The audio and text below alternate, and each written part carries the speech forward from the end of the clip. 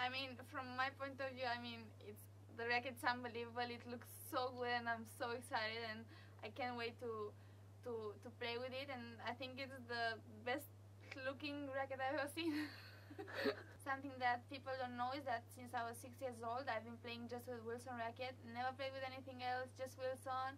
And I started tennis when I was four years old with a wood racket that my dad had to cut the grip because it was too big. And then uh, since I was six, just Wilson, 100%.